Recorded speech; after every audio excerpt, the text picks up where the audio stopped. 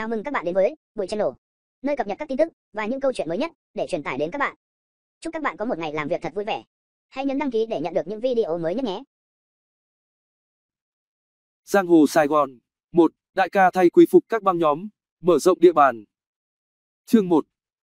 Giang hồ đại chiến hơn 50 năm trước, quãng đầu thập niên 1960, Trương Văn Cam, tức Nam Cam, còn đứng gác cửa và lắc tài xỉu cho bảy si tại một sòng bạc trên đường Lê Văn Linh, quận 4. Bảy là anh vợ Nam Cam và cũng là chùm các sòng bạc thuộc khu vực quận 4 và huyện Nhà Bè. Nếu tính chùm sòng bạc tại Sài Gòn thời đó, còn có thể kể thêm được bà Tiều, được là con một phụ người Triều Châu, hay gọi là người Tiều, cát cứ khu vực chợ cầu ông Lãnh, chợ cầu muối, và tám lâu đứng đầu các casino quanh đường Nguyễn Công Trứ. Tất cả các chùm trên đều phải chia lợi tức cho đại ca thay ông vua du đãng nổi tiếng nhất. Nhưng đại ca thay không chỉ sống nhờ lợi tức từ các sòng bạc, một nguồn thu khác đều đặn và có phần lớn hơn nhiều của đại ca thay là tiền bảo kê từ các nhà hàng, khách sạn, vũ trường. Ngoài ra còn có tiền của một số tay tài phiệt hoặc do phải đóng thuế giang hồ hoặc do ngưỡng mộ đại ca thay nên tự nguyện chi trả, như trường hợp vua kẽm gai Hoàng Kim Quy chẳng hạn. Toàn bộ số tiền thu được, đại ca thay đứng trả lương cho bọn đàn em, mua chuộc các quan chức, kể cả cảnh sát, trong số đó có đại úy Trần Kim Chi, trưởng ban bài trừ du đãng, cánh tay phải của thiếu tướng Nguyễn Ngọc Loan, giám đốc tổng nha cảnh sát quốc gia khi ấy, và ăn chơi, nhất là nhảy đầm tại các vũ trường lớn, đoa cho các cô ca về. Đại ca thay thường tự hào mình nhảy bê búp và cha cha cha rất đẹp. Đám đàn em thân tín nhất của đại ca thay khi ấy có thể kể, A chó, Hải súng, Lâm khùng, Lương trột, Phùng đầu bò, Phong, Trương, Viện Parker, A chó làm kinh tài cho đại với vai trò cố vấn kinh tế. Hải súng là kẻ trực tiếp nhận lệnh từ đại rồi truyền xuống cho bọn đàn em thực hiện. Vai trò của y tương tự thảo mà trong tổ chức của Nam Cam sau này. Lâm coi như cận vệ của đại, lúc này chưa mang tên Lâm chín ngón. Tại sao Lâm có biệt danh này sẽ được giải thích sau. Hùng đầu bò và lương trột đóng vai trò quân sư cho đại, bọn còn lại hầu hết vừa là sát thủ của đại, vừa ăn bay, tức cướp giật bằng xe gắn máy với tốc độ cao. Con mồi của chúng đa phần là những người vừa lãnh tiền ở ngân hàng ra, bị chúng theo dõi, A chó lúc thuận tiện liền ra tay cướp, nếu bị rượt đuổi, chúng dùng súng bắn trả quyết liệt. Sự thực đại ca thay chưa bao giờ ra lệnh cho thuộc hạ sát hại bất cứ một người nào, và có lẽ đây là điểm khác biệt lớn nhất với chùm xã hội đen Nam Cam 30 năm sau. Nam Cam sẵn sàng giết người dù kẻ đó là bạn cũ, đối thủ làm ăn, hoặc kể cả nhân viên công lực dám ngáng đường hắn. Khi cần tấn công, bất các băng nhóm khác quy phục để mở rộng địa bàn làm ăn, đại và đàn em cũng không bao giờ dùng súng, mặc dù, như trên đã nói, rất nhiều tay đàn em sát thủ của đại có súng, một phần vì chúng muốn tránh sự để ý của cảnh sát nhưng nguyên nhân chính vì chỉ dùng sức mạnh với tay nghề lão luyện khuất phục được đối thủ mới khiến bọn này thật sự tâm phục, khẩu phục. Nhìn bề ngoài, đại ca thay dễ chinh phục cảm tình người đối diện, khá đẹp trai, cao 1m64, lại có vẻ trí thức chứ không hề bậm trợn, ăn nói nhỏ nhẹ, nhã nhặn. Năm 1966, khi bị giam tại Chí Hòa, đại ca thay ở phòng 3E4. Tôi, khi đó cùng một số anh em sinh viên học sinh bi biệt giam tại lầu 3D và được anh em bầu làm trưởng phòng, nhờ vậy có thể đi lại tương đối thong thả trong khu ED vào giờ mở cửa biệt giam nên có dịp qua lại thăm đại ca thay nhiều lần và trò chuyện khá thân mật. Phần trên mới chỉ viết về các tay chùm vùng Sài Gòn, chưa hề nhắc tới khu chợ lớn. Khi đó đối với dân chơi, hai khu vực này tách biệt hẳn và toàn bộ khu chợ lớn do các băng nhóm xã hội đen người Hoa điều khiển. Khi xưa Sài Gòn và chợ lớn có ranh giới là đường Cộng Hòa, bây giờ là Nguyễn Văn Cừ,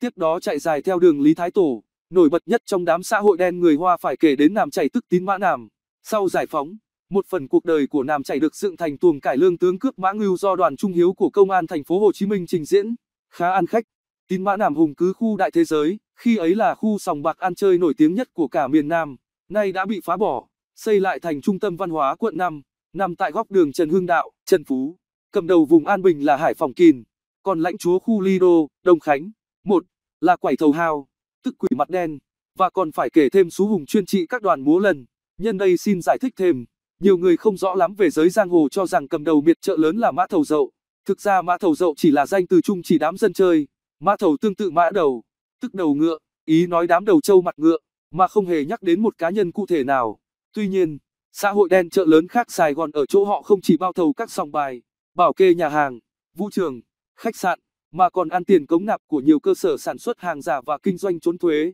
Nguồn thu từ hai đầu mối sau cùng này rất nhiều vì vào thời điểm ấy chợ lớn nhan nhản hàng giả, hàng nhái, làm lậu, chẳng thế từng có câu Hồng Kông bên hông chợ lớn, bọn họ còn giỏi về mua chuộc, hối lộ, thiếu tá, sau lên trung tá, trụ, trưởng ty cảnh sát quận 5, bị mua đứt, chẳng bao giờ ra lệnh điều tra các hoạt động mờ ám của đám xã hội đen, nếu có nhúng tay thì chỉ để bênh vực họ. một số tay tài phiệt chợ lớn, để việc làm ăn được thuận lợi, hàng tháng đã gom tiền cống nạp cho họ một cách tự nguyện, cụ thể như Lý Long Thân, Mã Hủy, nên cuộc sống của dân giang hồ chợ lớn tương đối thong thả, ung dung, ít phải ăn bay để kiếm thêm tiền tiêu xài và do đó cũng ít sóng gió hơn so với mạn Sài Gòn. Ít ra là đến khoảng đầu năm 1964, vào khoảng thời gian này, thế lực của đại ca thay có thể nói đã tới hồi cực thịnh dù đại chưa đến 25 tuổi. Quân tướng dưới trướng đại từ các nơi quy tụ về đông đúc đến hàng ngàn, riêng số sát thủ cũng kể tới số trăm, đông, vui nhưng hào, càng nhiều binh tướng càng khó phân chia lợi nhuận và một ngày đẹp trời nọ. Cố vấn kinh tài A chó hiến kế với đại ca thay, vùng Sài Gòn chúng ta đã khai thác gần hết tiềm năng rồi, nay muốn khám khá chỉ còn cách duy nhất là lần qua địa bàn chợ lớn, bên ấy kinh tế phát đạt, dân người Hoa lại dễ bắt nạt. Nếu chúng ta mở rộng được thế lực qua ngã chợ lớn thì khỏi lo gì tiền bạc, có thể tính kế làm ăn lâu dài. Đại ca thay càng nghĩ càng thấm thía gợi ý của quân sư A chó. Hơn nữa đây còn là dịp để đại phô trương thanh thế, thống nhất giang hồ thành một cõi, nên dù biết đụng đến đất làm ăn của dân chơi người Hoa không phải dễ sơi, thậm chí máu đổ đầu rơi, cuối cùng đại ca thay vẫn gật đầu đồng ý. Và, thế là vụ tranh giành lãnh thổ lớn nhất, cuộc chiến hao binh tổn tướng nhất và kéo dài nhất trong lịch sử giới, chợ lớn từ xưa đến nay bắt đầu, đại, ti, cái. Thế nhưng trước khi đi vào tình tiết cụ thể, xin vắn tắt nói thêm về bốn tay đại cao thủ võ lâm đã thành danh trên chốn giang hồ hơn 30 năm về trước. Đại, ti, cái, thế, đại ca thay vừa được đề cập khá kỹ và tay chùm du đãng này đã đi vào lịch sử dân chơi với nhiều huyền thoại pha lẫn thực tế, kể cả cái chết bí ẩn của anh ta. Có thể coi bài tiếp theo cái chết của đại ca thay trong tập sách này. Có điều ít người biết hồi nhỏ đại ca thay từng bị bắt nhốt vào trường giáo dục thiếu niên. Tại đây, đại đã nổi tiếng liều lĩnh, trong một lần cướp sòng bạc, chơi ban đêm, dưới ánh đèn dầu ngay trong trại, đại tung mền úp đèn, quơ tiền, ai dè mền bắt đầu bốc cháy, quấn vào ngang người dưới của đại khiến anh ta bị phỏng khá nặng nguyên phần từ bụng dưới trở xuống. Ti vốn là võ sư, tên thật Huỳnh Tỳ, trước hùng cứ tại dạp Olympic, đường Hồng Thập Tự, nay là trung tâm văn hóa thành phố Hồ Chí Minh, số 97 đường Nguyễn Thị Minh Khai, nơi đoàn kim trung tiếng chuông vàng dùng làm dạp hát. Sau 1975, Ti đã vào chùa thắp nhang thề từ bỏ trốn giang hồ, về nhà làm nghề mua bán và sau đó vẫn giữ được lời thề. Cái họ Ngô vốn gốc là dân nùng, còn thế tên thật Lâm Thế, thường gọi ba thế. Khi ấy cái và thế cùng nhau coi khu vực từ Lê Lai dọc qua ngã tư quốc tế đến khu dân sinh. Ngô cái chết trong thùng xe bánh mì sau bệnh viện Sài Gòn vì bị ma túy hành hạ trong đêm Noel 1978. Còn ba thế tập hợp số đàn em còn rơi rớt lại tính cướp cú chót vào thời gian gần Tết Trung Thu năm 1976. Nhưng vụ cướp không thành và ba thế bị bắt. Số phận sau ra sao không rõ. Vào thời điểm đại ca thay tính bành trướng lãnh thổ sang khu chợ lớn, cả ba cao thủ tỷ, cái, thế đều đã quy phục đại, thêm vào đó là hai tay sừng sỏ khác của gia định, chùm du đãng khu gia định mênh mông với biệt danh hùm xám gia định và Minh Casino,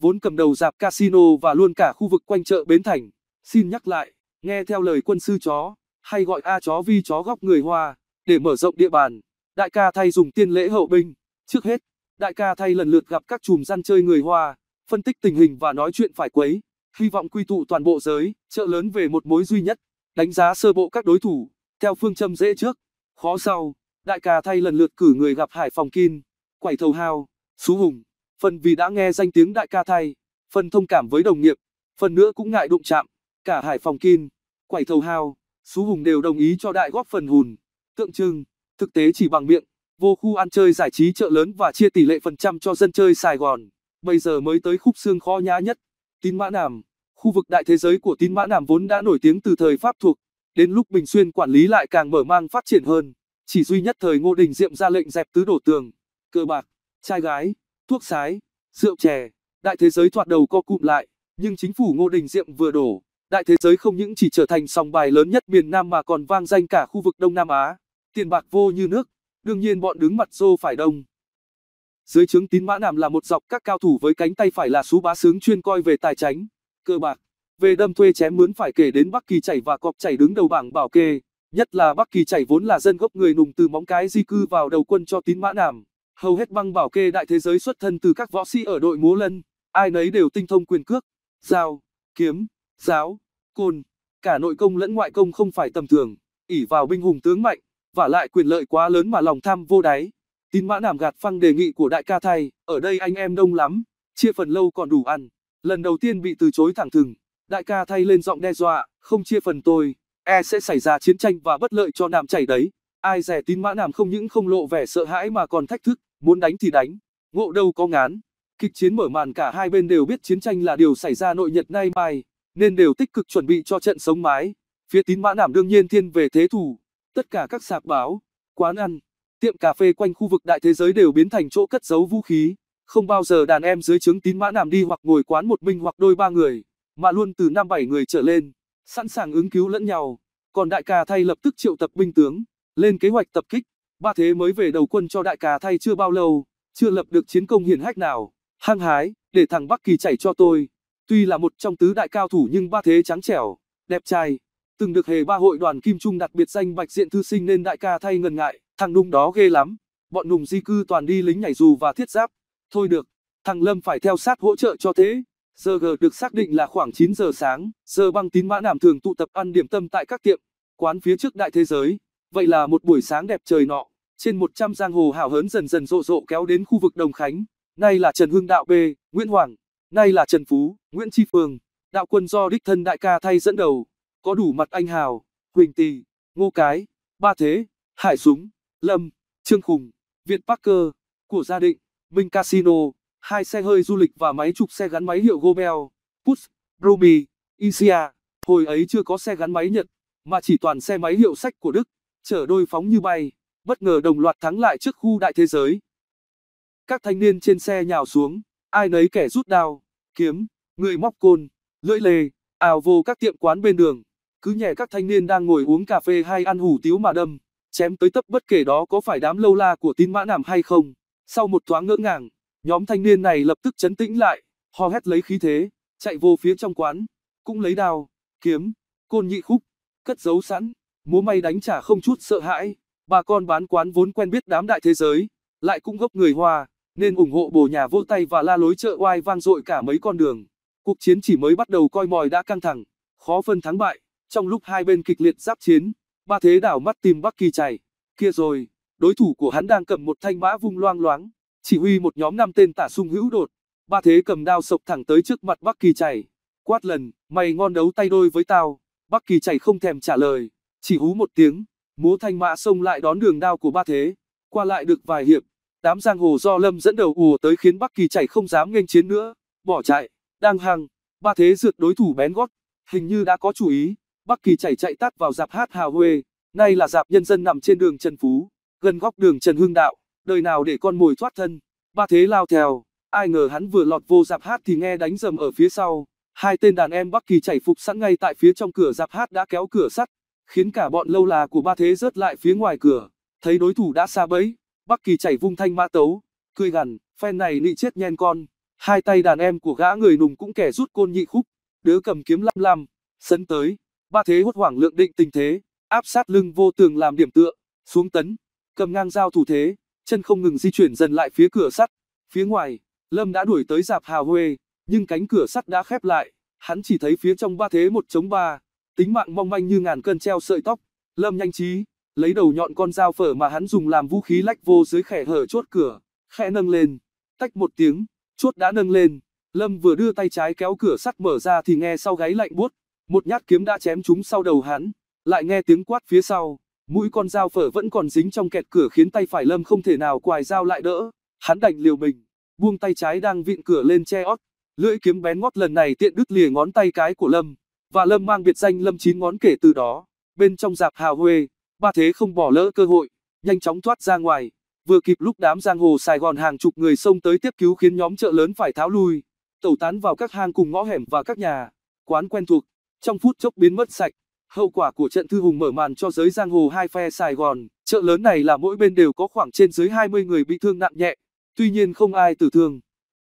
Đàn em của đại ca thay bi thương được đưa vô điều trị tại các bệnh viện chợ giấy và Nguyễn Văn Học, nay là bệnh viện nhân dân gia định còn đám lâu la bị thương của tín mã nằm vô nằm tại các bệnh viện Triều Châu, Quảng Đông, Phúc Kiến, ở vùng chợ lớn. Qua trận kịch chiến đầu tiên bất phân thắng bại này đôi bên đều thấy rõ hơn thực lực của mình và chỗ sở trường, sở đoạn của đối phương. Phía Sài Gòn biết họ quân binh đông đúc hơn hẳn, lại nắm thế chủ động tấn công, nhất là về thời gian, thích đánh lúc nào thì đánh, nhưng đối thủ lại dễ dàng lẩn tránh, khi nào thấy chơi được thì mới đánh trả, hệ coi mòi nguy hiểm là chúng lặn mất tâm, biết phe mình yếu thế hơn. Tín mã nảm lo thế thủ là chính, Tại bất kỳ sạp báo, tiệm hủ tiếu, quán cà phê nào ở trước đại thế giới và khu khoái lạc, nằm kế dạp hào huê, cũng là kho cất giấu kiếm, đao, mã tấu, côn nhị khúc, để nếu cần lấy ra chơi liền. Lâu la của hắn không bao giờ đi lẻ tẻ, luôn ngồi uống nước, ăn sáng phải tụ hàng chục người trở lên. Bà con người Hoa cũng tỏ ra suốt sáng ủng hộ người nhà. Khi thấy bóng dáng thanh niên nghi là băng đại ca thay, họ lập tức báo động,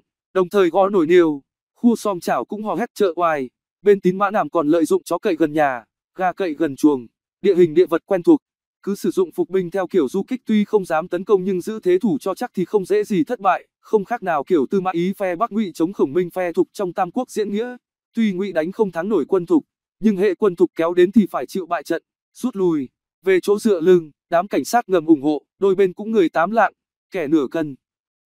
Nếu đại úy chi, trưởng ban bài trừ du đãng tổng nha cảnh sát, ủng hộ đại ca thay, thì tín mã nàm có thiếu tá trụ, trưởng ty cảnh sát quận 5, hết lòng hỗ trợ, lần đầu đích thân xuất tướng thất bại, đại ca thay vô cùng bực bội, tay chùm du đảng Sài Gòn này quyết không chịu bỏ dở kế hoạch ban đầu, tổ chức thêm mấy trận đánh nữa, bất ngờ hơn, với lực lượng cơ động hơn và ít người hơn, nhưng trận chiến vẫn chỉ ở thế giằng co. Tuy nhiên, rõ ràng cuộc chiến càng kéo dài càng gây bất lợi cho cả đôi bên. Giữa lúc ấy, cả hai phe đều có tình huống diễn biến mới. Tín Mã Nàm đoạt vợ em út xin kể trước về tình huống Tín Mã Nàm khi ấy. Trước hết là về bản thân tay chùm du đãng người Hoa này. Tín Mã Nàm tướng người vạm vỡ, mặt rắn đanh, đặc biệt cặp mắt vừa có uy, vừa sắc lạnh khiến bọn đàn em rất nể sợ mỗi khi nam chảy bước chân tới đâu. Bọn đàn em xếp xe đến đó, song bạc đang ồn ào sát phạt. Nam chảy vừa bước vô, hầu như chỉ còn nghe tiếng động duy nhất là tiếng đổ hột xí ngầu, con xúc sắc.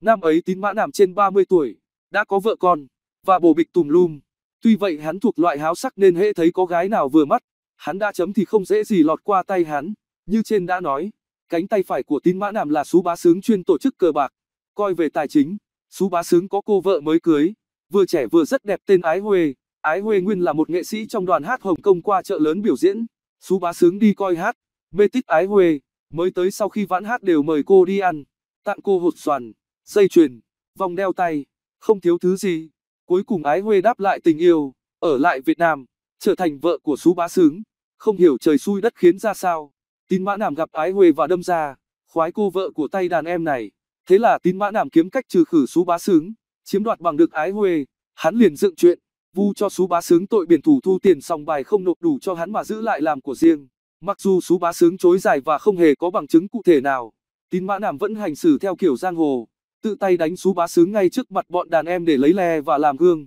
khiến Sú Bá Sướng gãy mấy xương be sườn, hộc máu mồm, phải vô nằm bệnh viện. Bọn đàn em đều biết thừa lý do đích thực khiến Sú Bá Sướng bị đánh đến thừa sống thiếu chết, nhưng không một ai dám can thiệp. Tuy nhiên uy tín của Tín Mã Nàm qua vụ này xuống thấp thấy rõ.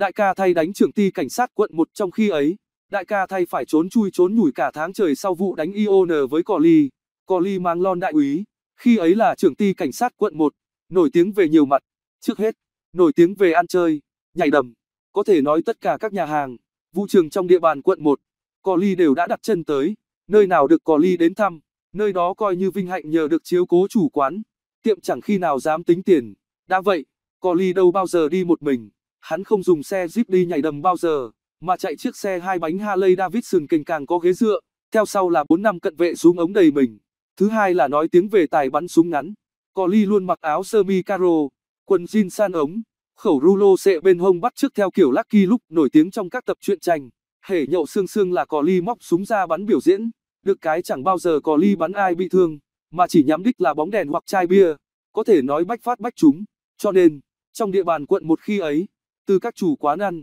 vũ trường, cho đến dân giang hồ và cả lính Mỹ, ai cũng vừa sợ vừa ghét cò ly. Tối hôm ấy, gần ngày lễ Noel, khi cò ly cùng bọn cận vệ đến vũ trường tự do nhảy đầm, thì ở bàn bên kia đại ca thay và gần chục đàn em đã ngồi yên vị, ngồi kế bên đại ca thay tối hôm ấy là Sáng và Cu Quỳ, cả hai đều là người nhái hải quân. Trong bàn tiệc lại có cả Trung úy ý thuộc Tổng tham mưu và Tâm nhà báo, là cháu bá bút trà, chủ nhiệm báo Sài Gòn mới, nhảy nhót, bia bọt một chập coi bộ đã hơi xỉn. Cò ly móc súng toan bắn biểu diễn chơi thì trung úy ý, vốn là chỗ quen biết, đến ngăn lại, Cò ly ơi, ông mà nổ súng khách khứa sợ bỏ đi hết mất. Cò ly vênh váo, nơi nào được tôi tới chơi là vinh dự lắm, sao lại bỏ đi, bộ không để mặt tôi sao, ý kéo Cò ly qua bàn đại ca thay, nhẹ nhàng, ai má dám không để Cò ly, anh em đây đều nghe danh ông cả mà, nghe khen phình mũi. Cò ly bật cười hô hô làm đại ca thay nóng mặt, chen ngang, thì tướng ông Cò ly y như cao bồi Texas, gặp đâu bắn đó là đúng rồi. Giọng khiêu khích khiến Cò Ly nổi nóng chỉ ngay mặt đại. quát nạt ra chiều hạch hỏi, ê,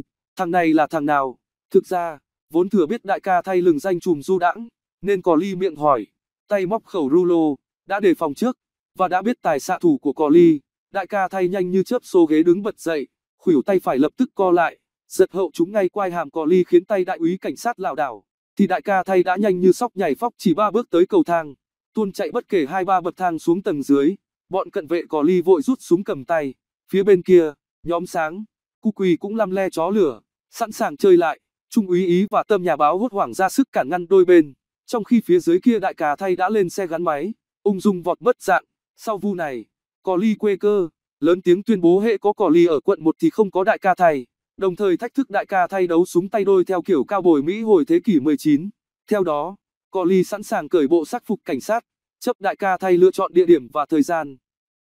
Giới giang hồ hả hê, chủ các nhà hàng, vũ trường khoái chí, ngầm ủng hộ đại ca thay, còn riêng tay chùm du đãng phải chém về trốn biệt, nhờ đại úy chi đứng ra dàn xếp, đại úy chi con nhà giàu, du học ở Pháp về, nguyên là sĩ quan nhảy dù, được Nguyễn Ngọc Loan khi làm chỉ huy trưởng tổng nha cảnh sát quốc gia kéo về phong chức trưởng ban bài trừ du đãng, cũng cỡ tuổi với đại ca thay, cũng phần nào nể vì tay giang hồ này, cả hai thường cập kè đến các vũ trường và nhiều chốn ăn chơi khác. Có lần chi tâm sự với đại ca thay nói một mặt ông ta mến mộ đại, mặt khác có nhiệm vụ phải bắt đại nên lúng túng rất khó xử, chính vì vậy, đại ca thay cũng phần nào kính nể đại úy chi, rất khéo, chi nói với cò ly, đại ca thay vốn biết cò ly bắn súng rất giỏi, sợ nếu súng đã rút khỏi bao thì đại ắt bị hạ nên bất đắc dĩ mới phải hành động trước, còn như đấu súng tay đôi thì đại xin chịu thua trước còn hơn, được khen mắt mặt, cò ly nguôi ngoai cơn giận, đồng ý cho đại ca thay về lại quận 1, nhưng phải chịu hình phạt về tội khi quân, cấm đại ca thay đặt chân tới một số vũ trường mà cò ly thường lui tới, dàn xếp êm xuôi, đại ca thay lại nghĩ tới khu đại thế giới mà lòng tức anh ếch, quân sư A chó liền trình bày kế hoạch mới, chú thích, một, Nay là khu vực Trần Hưng Đạo B. Buổi channel, nơi cập nhật các tin tức và những câu chuyện mới nhất để truyền tải đến các bạn. Chúc các bạn có một ngày làm việc thật vui vẻ. Hãy nhấn đăng ký để nhận được những video mới nhất nhé.